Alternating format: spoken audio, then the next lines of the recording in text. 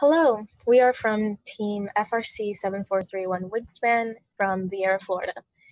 Um, welcome to our presentation about diversity, equity, inclusion, and how you can apply them to your team. Uh, as far as introductions go, uh, there's two of us. My name is Sid. I use they, them pronouns, and I am the chief of operations on my team, which means I'm in charge of, sorry, which means I'm in charge of awards, and um, non-financial business endeavors. And um, I am Ale. I also use they, them pronouns, and I am the, one of the team's first alumni. I actually was the chief of operations last year when I was still on the team. Uh, so this is our first time giving this presentation, and we're both a little nervous, but we really hope that uh, by the end of this presentation, you'll be able to learn a little bit about how to make your team an inclusive environment. Um, we want you to send in your questions, uh, but we won't be able to answer them all until the end. We have a Q&A portion. All right. So in this presentation, we will um, cover what are diversity, equity, inclusion, the experiences of student minority groups in STEAM, and how to be a good ally. All right, so let's start off with what are diversity, equity, and inclusion, what they mean, and why they matter. So what do these words mean? All right, a lot of people have heard about diversity, a lot of people have heard about inclusion, but it's that equity part that gets people a little confused. And some people, they see diversity, equity, and inclusion, and they think they mean all, all the, they think that all of them mean the exact same thing, which is not true. So let's get into these definitions. Diversity is the inclusion of different types of people within an organization. This can be people of different races, cultures, gender identities, abilities, and more. Now, there are two different definitions for equity that people generally use. Um, one definition is that equity is equality.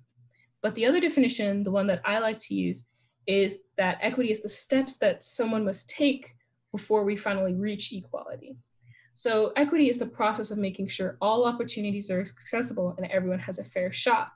This involves accommodating people's needs so everyone has a level playing field. And in order to make that playing field level, you might actually have to boost somebody up. So everyone has a fair shot at all of these great opportunities.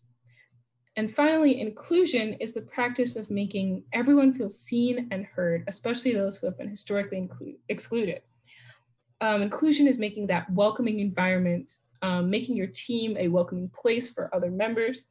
And inclusion is actually what we're going to be focusing on the most today. Why do these things matter? Why do diversity, equity, and inclusion matter? Well, people have different experiences, and these, these different experiences create new perspectives. And in turn, these new perspectives foster creativity and bring forth new ideas. And that inclusion portion especially creates a welcoming atmosphere where people feel like they can contribute. People feel like they are seen, people feel like they are heard, and that's incredibly important for every team. So today we'll be focusing on certain minority groups within STEM. Um, uh, these are groups who have been historically excluded from this type of workplace. So um, in this graph, I've pretty much broken down um, the populations of the different populations and the demographics of both the United States and um, science and engineering uh, jobs. So you can see the blue job, that will be the blue bar, that will be the percentage of that uh, minority group in the United States. So for example, there's about 50.8% um, 50.8% is the approximated amount of women in America, women or females. Um, and the green bar will show how many women occupy science and engineering field, uh, science and engineering jobs, which is closer to about 24%. Um, so let's, so the groups that we'll be talking about today, uh, sadly, won't, we won't be able to talk about every minority group because we don't have time and we might not have all the research we need. Like we won't be able to talk about religious minorities, but we will be able to talk about the LGBTQ community, people of color, women, and people with disabilities. All right, so for today, I'll be talking to you about the LGBTQ plus community. Who is in the LGBTQ plus community? Well, this is a very complex question because there are so many identities under this one community, right? So a broad overreaching definition would be that the LGBTQ plus community is made of, of people who have an orientation or gender identity that's seen as different by society. Now this percentage we have here, 4.4% of adults, is actually um, a little bit outdated because the last time anyone took a survey like this was actually in 2017. And the US Census doesn't actually ask people if they are part of the community um, as part of the census. So we don't actually have an accurate reading today um, in 2020 on how many adults in America identify as LGBTQ plus. And we especially don't have an accurate reading on how many students, how many people in high school, how many people um, on your teams identify as LGBTQ plus, because there are no surveys for uh, younger younger Americans and children. So let's look at the letters over here in the corner. Let's dive further into who's in the community. Um, the L stands for lesbian and the G stands for gay. Now the B stands for bisexual or biromantic and the T stands for transgender. A lot of people end the acronym there, um, but we have two other things here. We have the Q stands for queer. Um, now queer is a reclaimed slur which means that in the past it was used in a derogatory manner when referring to people who are in the community. Um, but now people have reclaimed it as their own and they use it to identify themselves. It's a very fluid identity. It could, it, um, it covers a very wide span. It's something we call an umbrella term. And that plus is also a bit of an umbrella term. It encompasses all other identities that aren't listed, right? which is a lot of them. Um, a lot of identities aren't listed here in these few letters that we've got. So speaking of umbrella terms, let's talk about some hidden umbrella terms, some terms that you hear but that you don't think are umbrella terms but actually are. We've got gay.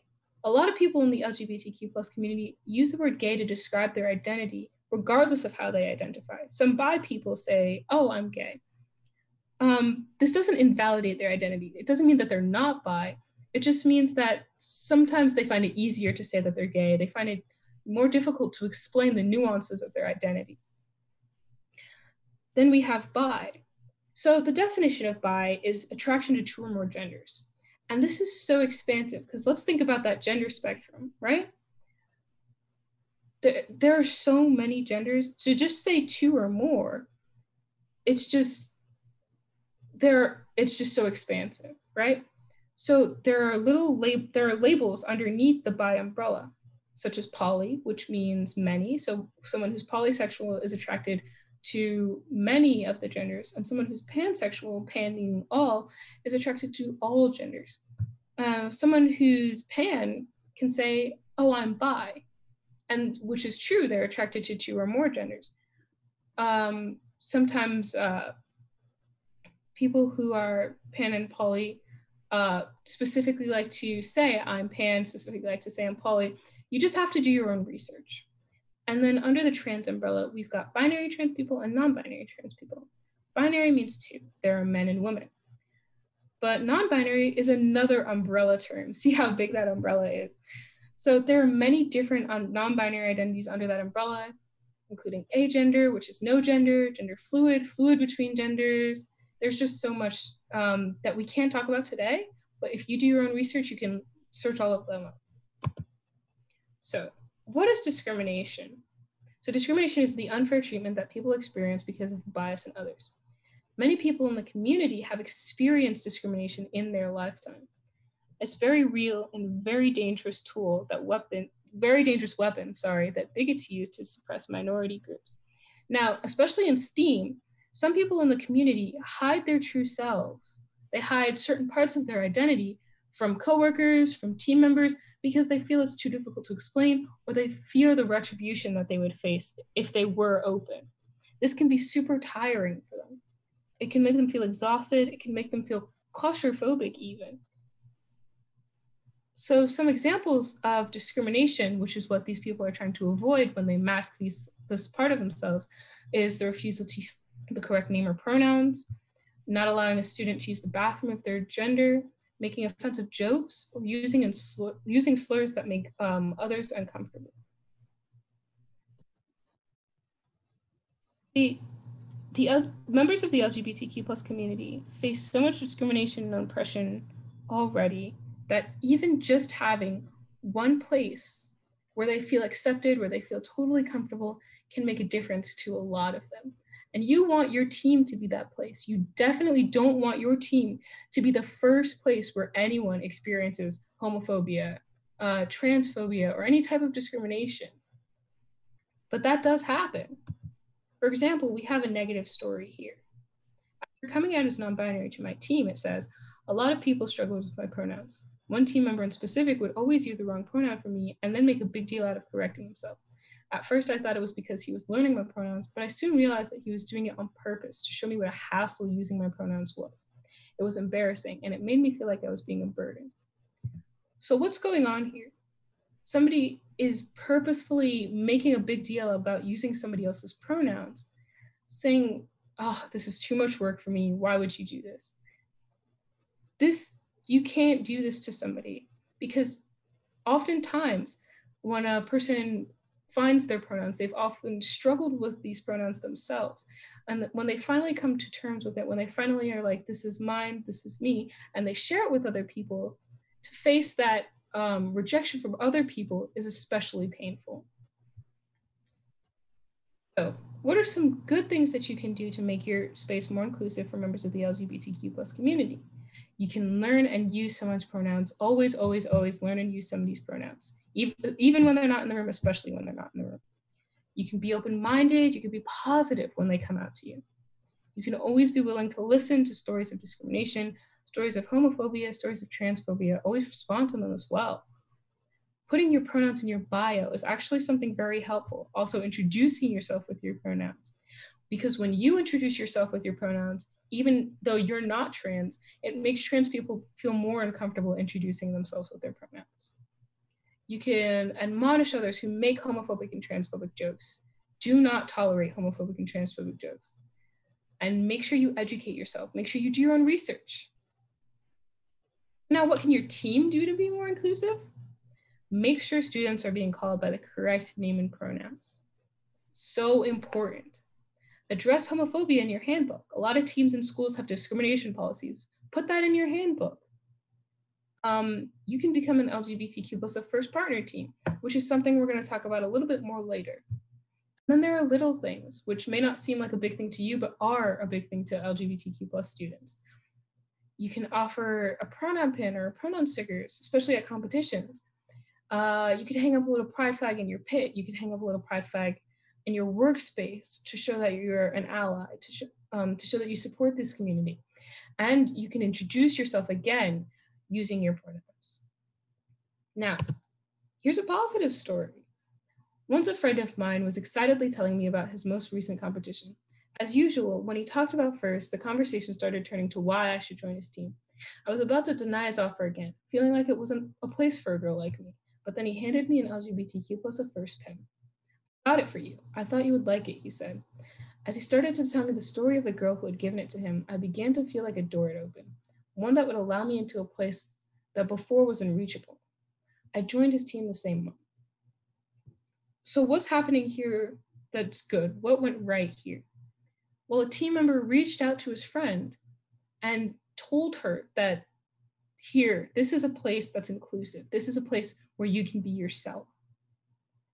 And this is so important. Expressing that first is a place that's inclusive, expressing that first is a place where everybody is included is a great way to get people to join your team. Here we go. Let's talk about people of color. This is the next section. All right. So, who's considered a person of color? Now, people of color are non white people, and that's it. And this is such a broad definition, right? So many pe- people of color have vastly different experiences from one another.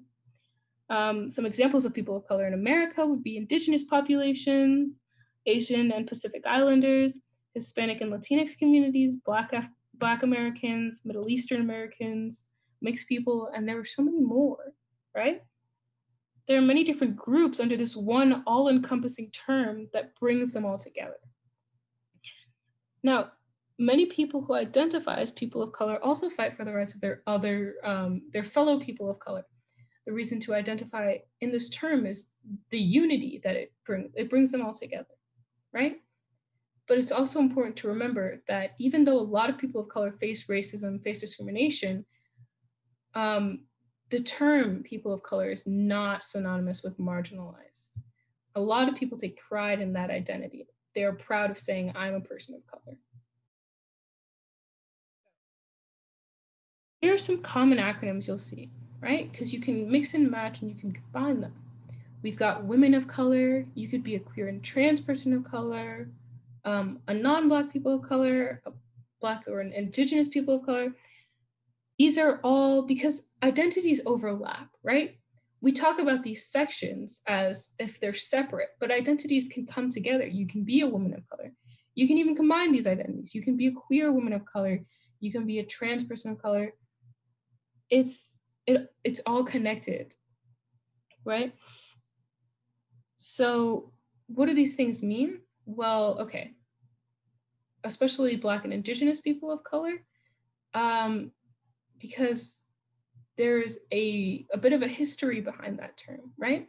So Black and Indigenous people of color is specifically used by Black and Native people of color to address America's history of suppression in these communities. So let's further talk about that suppression. Some people think that racism isn't a problem today, but it most definitely is um, it persisted throughout the decades. Many people of color still deal with systematic racism today. Um, and examples of that are lack of adequate funding and education for education in POC heavy areas. And um, people of color, students of color being more likely to be punished more severely than their white counterparts for the same um, infractions. And then there's the fact that employers are less likely to hire candidates with ethnic names. So here we have a negative story, right? My mom and I attended an unnamed off season in 2015, which had a primarily Black school population, as evident by, in the athletic posters and photos of the students on the campus. My mother kept making comments about how poor she thought the school was, or how Black she thought the school was, and it made me so uncomfortable because I was competing with my friends and peers and they heard my mother's comments. It should have never even mattered in the first place, yet my mother decided to comment. So what's happening here?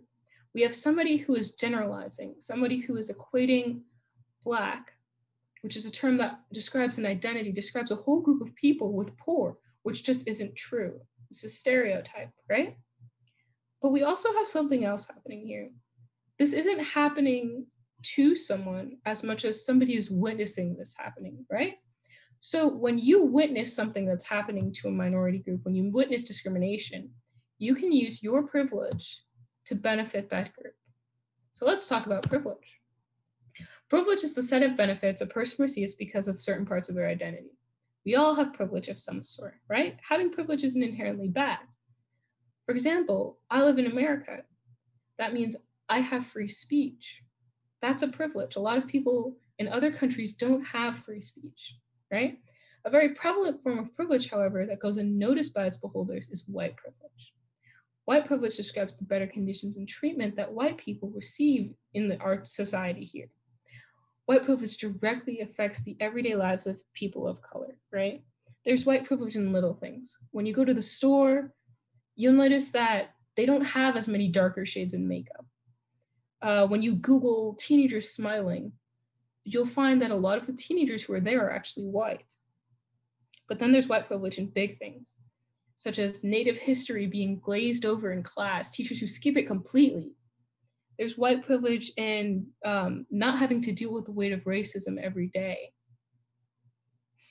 Um, so people can use their privilege, however, in a positive way by speaking out against injustices that they witness, right? So let's go back to that example I said before. I have privilege, I have the privilege of free speech. I can use my privilege um, to speak out for others who live in maybe a dictatorship where they're, uh, the person who is ruling over them is using their power unfairly and unjustly. I can speak out against those issues because I have the speech and I can help that population. So, what can you do to help people of color? Always remember to check yourself and make sure you're not speaking over anyone. This is extremely important because you want to help, but you don't want to be speaking over those voices that are already there.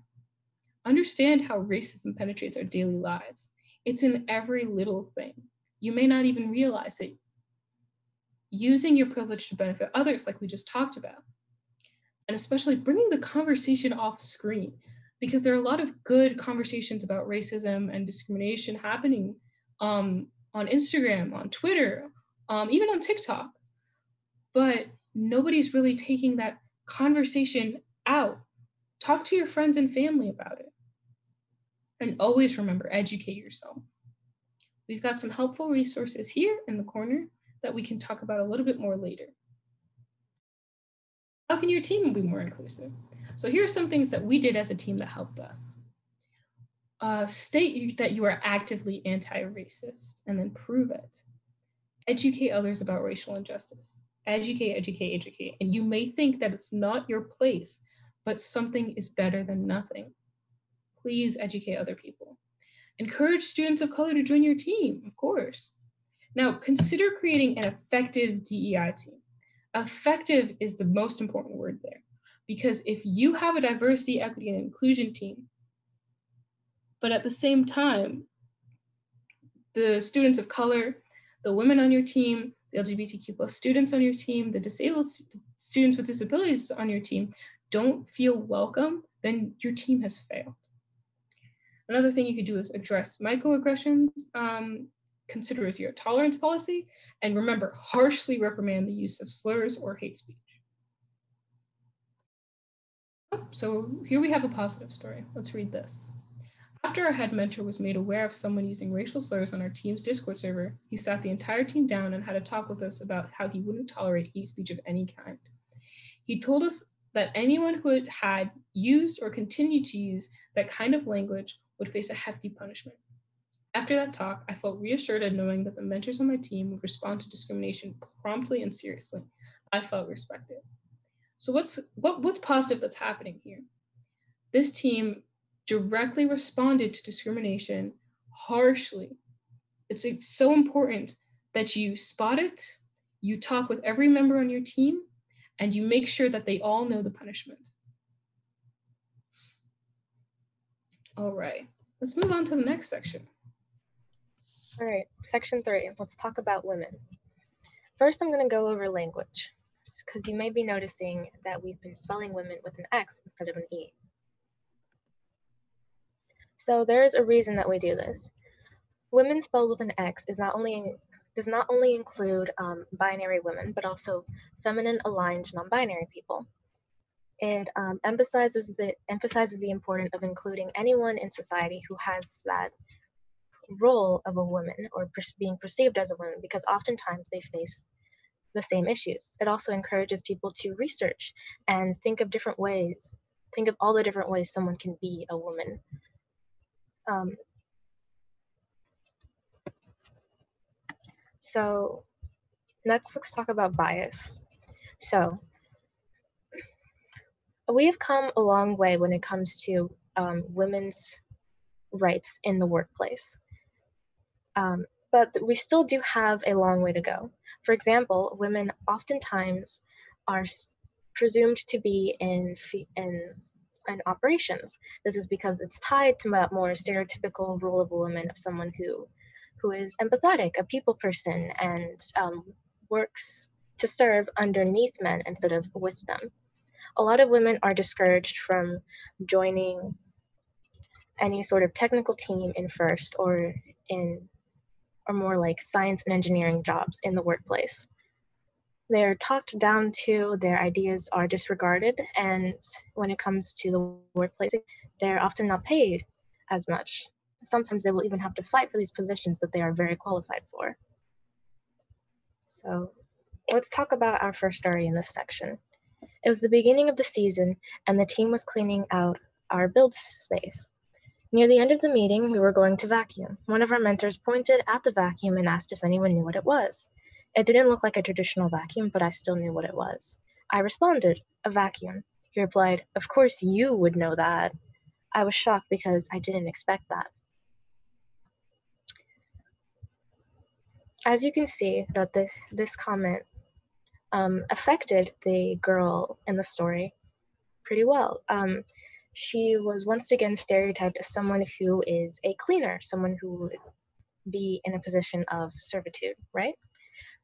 And so this often reminds me of like, if you're familiar with um, second wave feminists that happened after women joined the workforce, uh, there's this term that was used a lot called the second shift, which basically talked about how even now that women were allowed to work and have careers, they still were expected to take care of the home.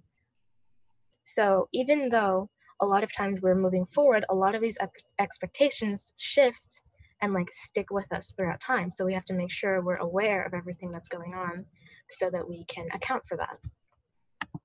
So how can you be more inclusive? Let's talk about that. Number one, obviously, is don't turn anyone away because of their gender. This will make your team more diverse and it will allow you to have more, more ideas, which is already a good thing in itself.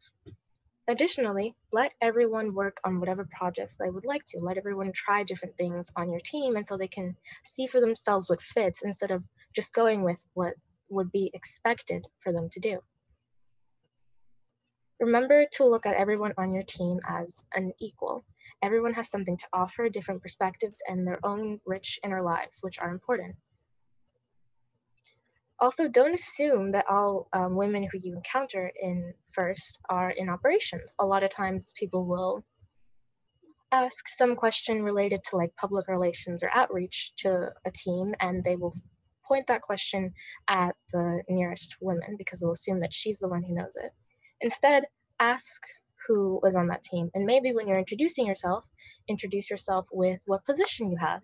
That way it'll encourage others to do the same rather than having everyone rely on assumptions. This is kind of similar to what Sid was talking about earlier with pronouns. It makes people feel more comfortable doing that too. Also, educate yourself. Maybe um, we'll have more resources for you to check out later that can teach you more about women in science and engineering. So, making your team more inclusive. Once again, we want to discourage any generalizing. All girls are in PR, everyone in PR is like this. Um, Things like that can all force people into certain boxes. If you've ever taken a psychology class, you've probably heard of labeling theory. And it's basically once you um, stereotype a group of people to be a certain way, they're much more likely to continue in that behavior because they feel like they can't escape that label. That traps people in positions that may not want to be in or make them feel like that they're not allowed to be who they really are. Next, encourage women to join any group they want it's not just enough to not deny them. You also need to encourage them whenever you can. If you see someone who's nervous, maybe let them try a robot. Be aware that young girls are less likely to be taught things about science, engineering, math than young boys. So they might not be as confident as your as their teammates. Also, they might have also faced some discrimination previously that a lot that makes them nervous about joining a group. They might have been made to feel or even just explicitly told that this kind of environment was not made for them. Um, yeah, just next we have stop stereotyping subteams, which I discussed earlier. It's very important not to stereotype and allow people to work in multiple fields. And to, it's also important to check in on women and just all your teammates and see how they feel. Make sure that no one, nothing bad is happening. It's good to check in with people and allow everyone to participate in um, team activities. Also, one final thing you can do is become a First Like a Girl ambassador team, but we'll talk more about that later. All right.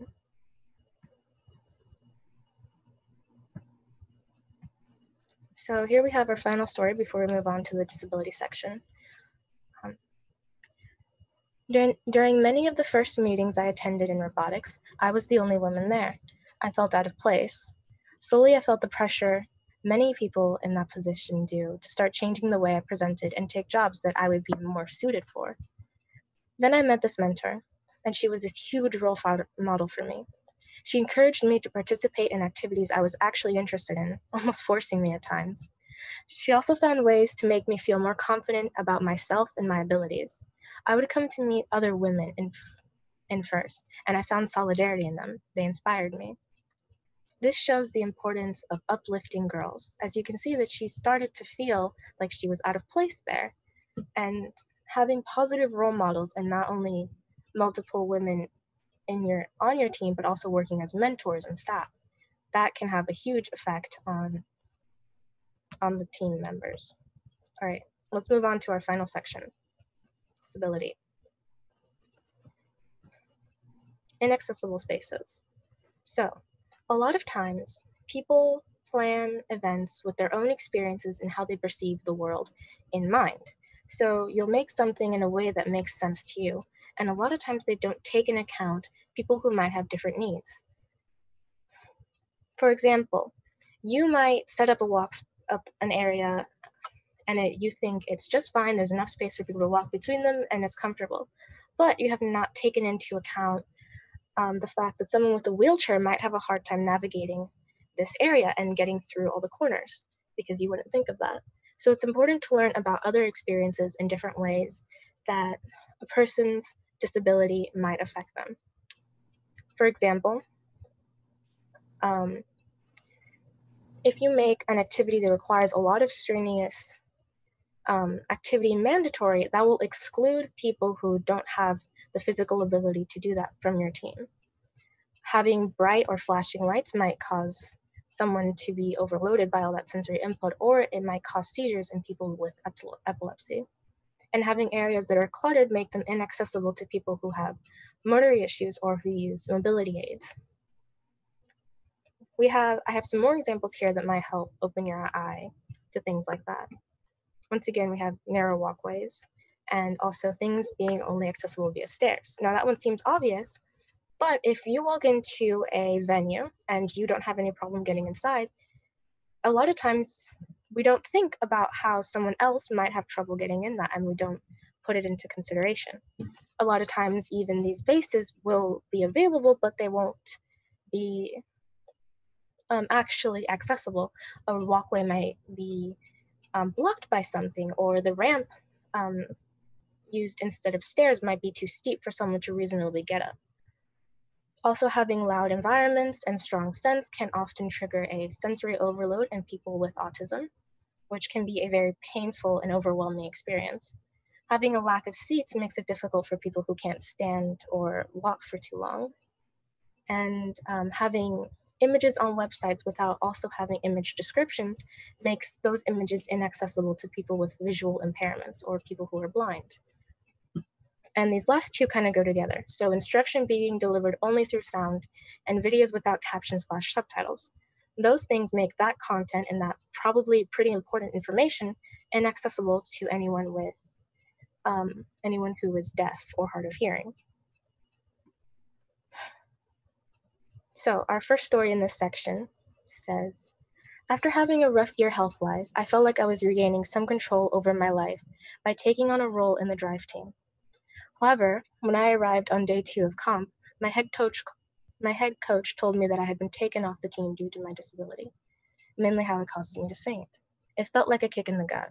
I tried to explain that I knew how to manage my symptoms so I wouldn't pass out during a match, but he wouldn't listen. He told me his hands were tied because the mentors wanted me off the drive team. Later, one of our mentors came to comfort me.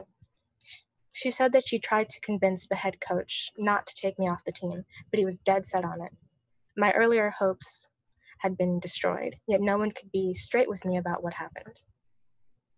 What goes wrong in this story is that they don't have an honest conversation with this person about their abilities and and how they can be on the team. They didn't listen to what they had to say and and made that person feel less than and like they couldn't participate in the team, like they were some a secondary member. This is why it's important to be honest with and treat people with disabilities with respect and make sure not to override their autonomy. Next, let's talk about some language. You'll notice that throughout this presentation, I, we have both been trying our best to use person-first language. That means stay, statements like person with a disability, person with autism. A lot of times this way of speaking is preferred as it makes, as it identifies the fact that this is an individual whose, whose disability or other traits might don't necessarily define them. This is a lot of times general practice. However, not everyone prefers this, and that's valid. Some people prefer to identify themselves as a disabled person. This is because um, sometimes it's very difficult to get a diagnosis, and once you're able to, it makes life a lot easier to live, and a lot of times people are proud about that. It makes them happy. Additionally, they sometimes they a person with a disability makes them feel like they're distancing themselves from their disability, like as if disability is some sort of negative trait that they need to be that needs to be disassociated from the rest of themselves. So it's important to ask people what they prefer and respect that to the best of your abilities. Another language thing that's important to keep in mind is hearing impaired, deaf with a lowercase d, and deaf with a capital D.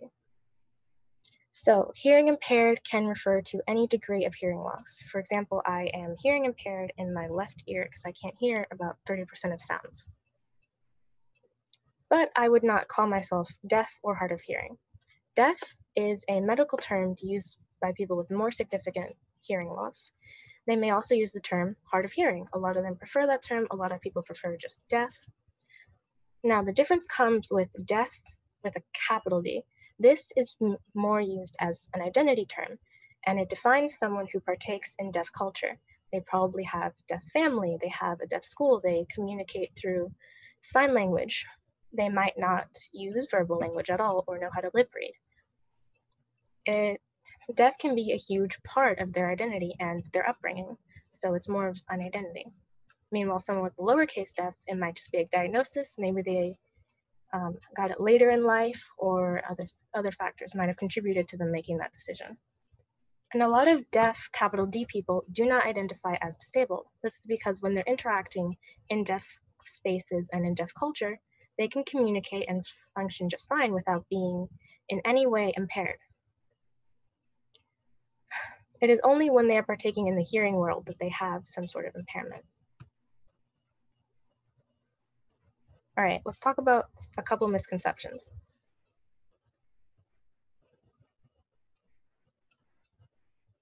Number one that I wanted to mention is that all people dis with disabilities look disabled.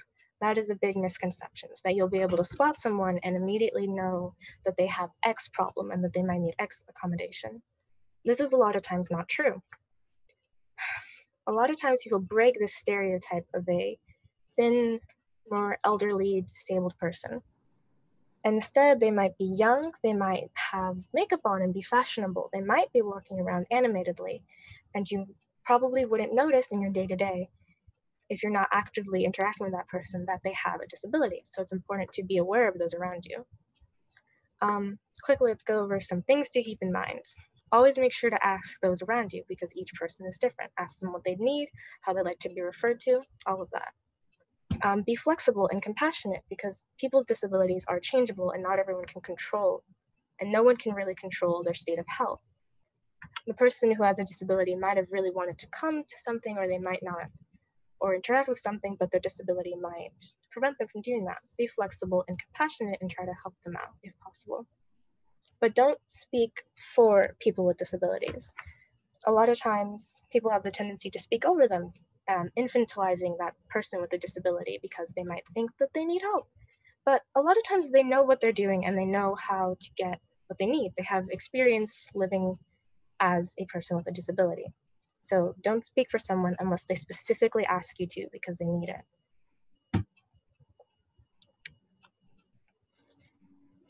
Additionally, don't touch someone's mobility aids. Now, mobility aids can be things like crutches, canes, walkers, and wheelchairs. those things are an extension of that person and should be treated as if that was like an arm, a leg. Just so if you touch them, that is invading their personal space. And you wouldn't do that to just any stranger. Especially don't um, push someone's wheelchair without them explicitly telling you that you might, that you're allowed to. This is basically the equivalent of picking someone up and moving them. You're in that sense, the person who would be moving them would be overriding the person with the disability's autonomy, which can make someone feel bad and can make them feel afraid if they don't know where you're taking them. I have some more misconceptions listed here, which I've gone over. Another one that's important is that not everyone with a wheelchair is wheelchair bound, and wheelchairs are not confining. In fact, they're often very liberating. It allows them to move and interact with the world more than they would be without a wheelchair. They don't view them as confining. Additionally, not all those who use wheelchairs are wheelchair bound. There can be ambulatory wheelchair users that only use them occasionally or when they feel certain, when they when their health is in a specific sorry only use them when they need to. So they can technically walk and stand, but it might be incredibly painful for them to do so and they're unable to safely do it for more than a couple minutes. So making sure your team is inclusive. There are some things that you can keep in mind, like all the different ways that disability can affect a person's life that I've mentioned previously. Keep in mind to make sure to use inclusive language, make sure your teammates are also being inclusive and not saying anything that could hurt someone else's feelings, make sure to share information about disabilities and keep um, people with disabilities in mind when planning events and um, and organizing your workspace.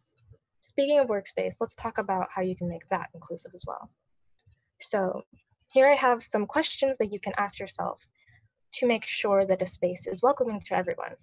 Remember, if you don't have these kinds of things in mind, it might make a space inaccessible for someone. And suddenly they're unable to participate in something that could be a really big, important deal to them. Or maybe it just makes them feel other and like they they're they have to be separate from all the able-bodied people who are capable of doing those things. So try to keep your walkways open, have everything organized, avoid things with strong scents, sights, strong scents, noises, um, or avoid, sorry, um, or give a warning before um, causing that stimulus to appear. Um, keeping areas well lit, don't exclude, don't exclude people on basis of ability and, and learn some important words in ASL, like how to introduce yourself, how to ask for someone's name, and maybe anything that might need to be used in an emergency setting like ambulance or help. All these things can are probably relatively small for an individual to do, but they can make a world of a difference for a person with a disability.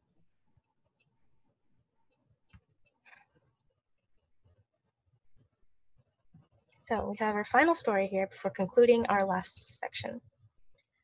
During a team meeting, our operations group was working in a room with our software and finance teams. The room grew crowded and loud as everyone began talking, and I found it really difficult to focus. Someone suggested that we moved to somewhere quieter, and I agreed. Our group went outside where it was less overwhelming and continued the rest of our conversation there. I felt like a weight had been taken off my shoulders. So this is a very nice story because these people were aware of how this might present a challenge to the person in the story. And um, pretty quickly easily accommodated that and that way they were actually able to get work done and finish the conversation and be productive. There we go. All right so that concludes our final section. Before we end this presentation we have a couple more things we're going to talk about. For example ways to learn more I personally think that educating yourself is a very is one of the most important things when it comes to being a good ally and making sure your team is accessible. Don't just listen to what we have to say, go and listen to a diverse amount of individuals And so you can gain a well-rounded understanding of minority experiences and how you can be an, a good ally to those minorities. Here I have listed some people who must will have like YouTube channels and social media that you can go check out where they talk about these issues in uh, an easy to understand and, and um, accessible way. Some books you might want to read, and then some other things that might be nice to include. We will have this presentation, we should have this presentation available for you guys to see otherwise, so you can look through it at your own pace. All right, so um, being an ally to these minority communities that we talking about is incredibly important. There are some things that you have to know in being an ally. Um, there is this thing called performative allyship, right? Performative allyship is um, the promoting of a social issue for class or for popularity. For example, uh, performative allies will say they want change and they'll be an ally to that community when it's popular or trendy per se. But when less people start looking, less people start, um, or when people move on to something else, those allies move on as well, leaving that community high and dry. Genuine allies continue to unlearn their bias, continue to fight for the rights of others throughout their entire lives. Being an ally is a lifelong task, right? And because being an ally is a lifelong task, it can be really tiring fighting against these big issues discrimination, racism, ableism, sexism, transphobia, homophobia, all these things. Um, they can take a toll on the victims, but they also can take a toll on the allies.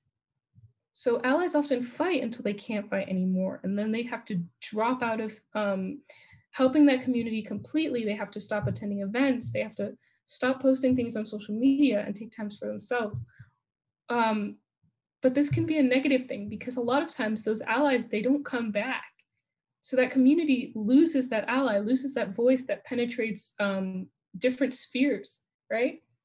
So allies need to know when to take time for themselves, when to take care of themselves, and then when to rejoin and come back and help those communities again. And then another thing that you have to be aware of is information overload. There's so much information out there on the internet. There are so many resources. We the our last slide, we have so many resources there, but there's just too much information for any one person to digest and understand in even their lifetimes. There's just so much out there. So what you do have to do is take it slow. Understand all of that information. Try to um, one good thing to do is look at maybe one resource a day really digest what you're and understand what you're reading um, and be aware that when you share these things if you share 50 posts in one go nobody's going to really look through all of these 50 posts. But if you share one good post with um, friends with family and you say hey can you read this? And maybe we could talk about it just that it means so much more than mass sending out 50 posts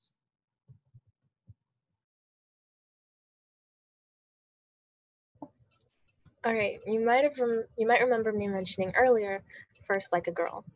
So it is this social media movement created to encourage girls in the first community. Um, girls can send in videos and stories from all the world to inspire each other, and it fosters this sense of community. It's important because it helps um, empower girls in STEM, makes them feel like they can belong, and encourages them to fight against any stigma that they face and participate in what really interests them. You can help or join by using the First Like a Girl hashtag on your social media post, or you can become an ambassador for First Like a Girl and even hand out pins at events. Also, it's good to share a lot of the hashtag First Like a Girl posts on your social media. Um, another organization that we talked about earlier was LGBTQ plus affairs, uh, which is a group dedicated to uplifting LGBTQ plus people in FIRST and in STEM. right? They promote an inclusive and welcoming environment for people in the community, which is so important because it makes young people feel like they have a place to be themselves, as well as letting them know that there are people like them in science and engineering fields. Um, you can show your support for LGBTQ plus by getting in contact with them, um, becoming a partner team. Uh, they have a they have three different levels of involvement: bronze, silver, and gold. Um, FRC Wingspan, us, uh, we're actually a bronze level partner team for LGBTQ plus affairs. And I'm also an LGBTQ plus affairs ambassador. So I, you can trust me when I say this organization, um, really good stuff, really good work. Uh, they have a Discord, they have a Facebook, and you can check them out at that website right there. Now, um, we talked about diversity, equity, and inclusion today, and this might have been maybe one of the first resources that you've come across, but first actually has uh, diversity, equity, and inclusion training for students and mentors. But many teams are unaware of this helpful resource. There's an unofficial group called Equity First that advocates for FIRST to better promote their EDI resources. Right? Equity First was inspired by an Instagram page called Dear First Robotics, which is um, a page that has stories of uh, teams team members and volunteers and people in FIRST who are experienced racism or discrimination or uh, homophobia, um, transphobia, sexism, harassment, any type of uh, bias, they have all of these stories of people who were really hurt by their experiences. Um, I do suggest that you go and read some of those stories because they're really eye opening because you don't realize that these things are happening in FIRST. Um, and here, Equity First has a uh, petition demanding that First headquarters officially pushes their EDI training and resources, and you can sign it here. And again, like Ale said, um, we will be sharing this presentation um, on our Instagram page, so you should check us out there. That way you can come and find all of these links. Yeah, speaking of our Instagram, here it is. Um, you can go there to check out um, more information about our upcoming conferences. We will probably be talking about these same topics, but in more depth so that it's easier to digest and you can have more um, well-rounded information. We'll also be promoting that on our Twitter. And um, our YouTube is where we'll probably end up posting those conferences afterwards. So if you want to check them out, you can go there. Um, also on our Instagram, we have created a Black Lives Matter Instagram highlight. That way, that we hope will educate on racism in today's society. Now you can become a better ally to people of color, especially Black people of color. And if you have any questions or stories to share about these topics that we've talked about today, we would really appreciate um, you sending them to the Google form in this um, presentation so that we can use them in our upcoming diversity conferences. All right. And uh, finally, we would just like to say thank you so, so much to FRC Team 2614 Mars for um, hosting this live stream. We really, really appreciate you guys letting us do this presentation and talk here. It means a lot. Yeah, and also thank you to all the volunteers who made this possible. We really appreciate this opportunity. And lastly, we'd love to thank you guys, the viewers, the people who are watching this right now. This wouldn't be happening without you. Yes, thank you. We know that's a lot of information, but it's really important.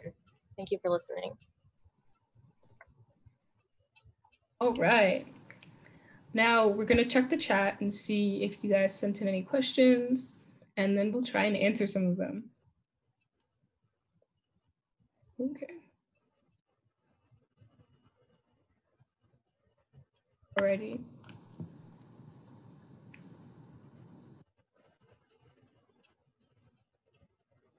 All right, so we do have a question. All right, how does your team specifically foster inclusion? Somebody asked. Um, I know that a lot of the things that we have recommended here um, are things that we actually do as a team. Um, mm-hmm. And uh, actually, a lot of these stories, because um, we didn't really open up our form yet. We didn't really have a chance to get stories from other people. A lot of these stories actually came from our team, which is how we know how to respond to them, how we know how to identify the problems, how we know how to fix them and make them better. Um, oh, wow, you guys have a lot of questions. That's great. Okay, uh, let's see. To finish up the answer for the first one, I do know one example we have we actually recently made pronoun stickers um, on our team that we hope to share uh, the PDF of, um, especially if we go to competition. We were hoping to hand some of those out. Uh, and we find that they're, uh, I think a lot of team members really enjoy them as well. So here's the next question. What does your team's gender breakdown look like? Um, I'm not actually sure. I know that we've gained a lot more diversity on our team than in our first year. Our team has only been, our, this is going to be our third year now. And the amount of change that we've seen is actually quite a lot. Um, uh, let's see. I don't have our demographics memorized off the top of our head, um, off the top of my head, but um, I yes, just like Ale said, we do have a lot more girls than we did last year. Um, we do have a lot more people of color than we did last year. Or not last year, but I mean in our first year. Um, we are really trying to expand and create a more diverse and inclusive environment, which is one of the reasons why we made this presentation. Um, um, really quick, if I can answer the ASL question. Of course, so, yeah there are actually a lot of resources online you can use. A lot of bookstores also have ASL books that will tell you a little bit about grammar structures.